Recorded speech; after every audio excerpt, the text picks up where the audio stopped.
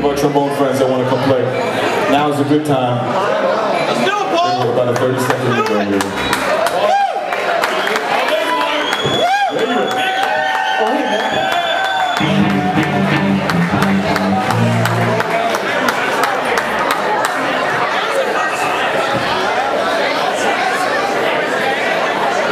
We knew they were coming, so we prepared. and Paul played with us last last time as well.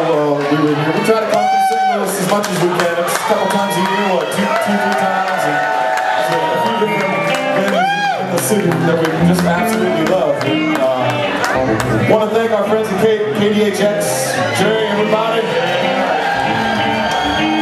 One of the first emails after our CD was released in New Orleans that I got was from somebody that, that drove off the road because they heard Frankenstein. I was just hoping they, they weren't going to sue us. But we were flattered by that, and the, and the station's been so, so nice to us, so we appreciate everything that they do.